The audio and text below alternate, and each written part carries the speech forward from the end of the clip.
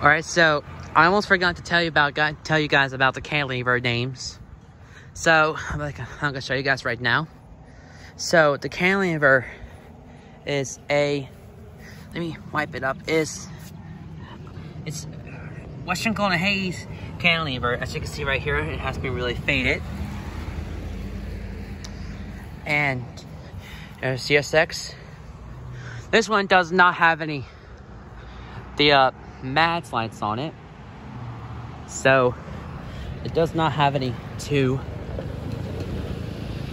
So this one does not have any things about this crossing. So so yeah. So guys, that's all I'm gonna show you guys this about the cantilever. His name is Western Cullen Hayes cantilever on it. So over and out.